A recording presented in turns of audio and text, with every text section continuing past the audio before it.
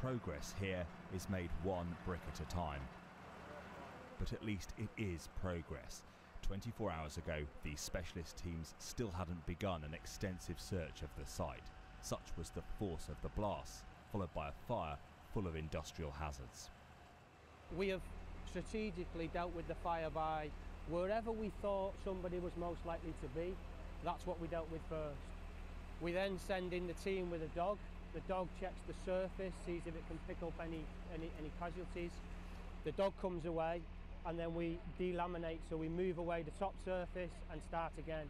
We have cameras that the crews can put in to get under the rubble to see if there's anything, uh, anybody under there, but it's a really slow and difficult process. Heavy lifting gear is being drafted in, but here they carry shovels, an operation much of the time by hand. Parts of the search are now complete, and yet there is still no sign of three men and a woman believed to have been inside the building when the explosions happened. Life in Bosley is closely linked to the wood processing plant, now lying in ruins. The service at a local church this morning will be poignant, as while emergency workers remain hopeful they also warn that this is looking more like a recovery exercise than a rescue mission.